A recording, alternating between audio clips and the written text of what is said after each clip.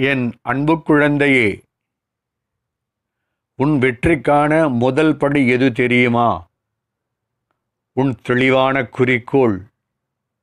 அந்த குறிக்கோளின் மேல் உனக்கு உள்ள உறுதி.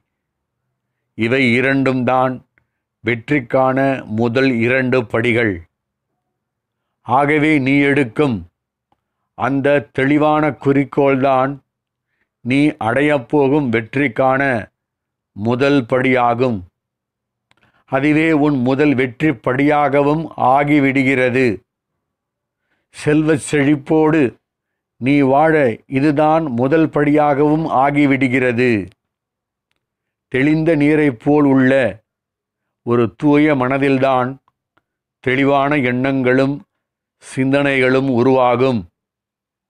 அதுதான் தெளிவான குறிக்கோளுக்கு ஆதாரமாகும்.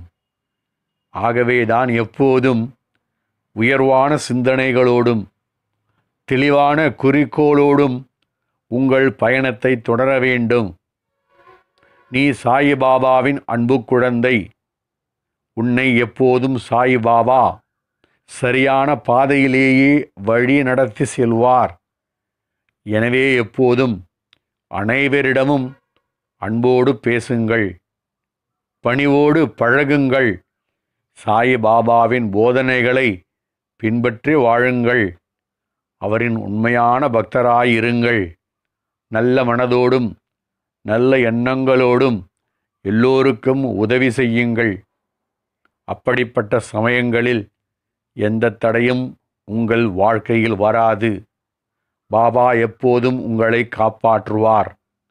பாபா இருக்க பயம் எதற்கு கவலை எதற்கு பாபா சரணம் ஓம் சாய்ராம்